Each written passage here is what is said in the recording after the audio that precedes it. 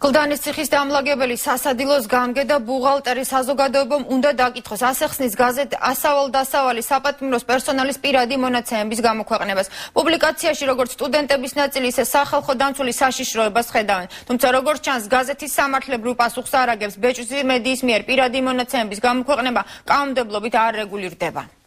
დამოუკიდებელი და ზეპარტიული ასავალ დასავალი გარეკანზე ერთ-ერთი პარტიის გამარჯვებას როგორც საკუთარ ზეიმობს შიგნით კი გლდანის ციხის ყველა თანამშრომლის მათ შორის დამლაგებლის მისამართს აკუთვნებს ამ თამაშს ბევრი მათ შორის სახალხო დამცველის აპარატი საშიშათვის ამ ადამიანებთან ერთად ცხოვრობენ მათი ოჯახის წევრები, შვილები, დედები, მეუღლეები და ასე შემდეგ და ასე შემდეგ. შესაძლებელია ძალიან მარტივად შემდგომში კონდეს გარკვეულ ქმედებებს ამ ადამიანების წინააღმდეგ ადგილი არ არის აუცილებელი ეს გამოიხატებოდეს მაინც და მაინც ფიზიკურ შეურაცხყოფაში.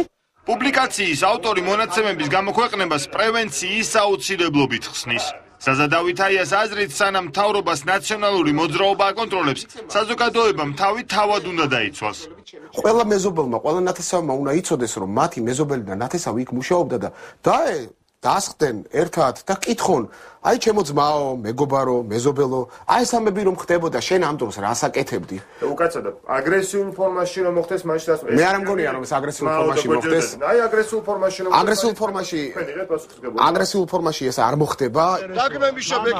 დაგმე, დაგმე, დაგმე ხელისუფალი რომელიც ბიჭებს წათმაში რახიდა. სტუდენტურმა ჯგუფმა ლაბორატორია 1918-მა ციხის პერსონალის მისამართების გამოქვეყნება გაზეთის რედაქციასთან გააპროტესტა. თუმცა ასავალ დასავალის ერთგული მკითხველისგან საკმაოდ მძაფრი რეაქცია მიიღო. ასავალ დასავალის დამცველებს შორის ქართული ოცნების მაისურში ჩაცმული რამდენიმე ადამიანიც იყო. კოალიცია ამ აქციას გაემიჯნა. ადამიანი რომელიც თქვა წამებაში მონაწილეობდა ბუნებრივია მან უნდა აგვეს პასუხი მაგრამ მის გამო პასუხს ვერ აგებენ მისი კოლეგები და ვერც მისი ოჯახის წევრები ასე რომ თქვა იქ მისამართების გამოქვეყნება და ასე შემდეგ. ამ შემთხვევაშიც არის დაუშვებელი. როგორც ჩანს გამარჯვებული გაზეთი გამარჯვებული პოლიტიკური ძალის კურსს ცდება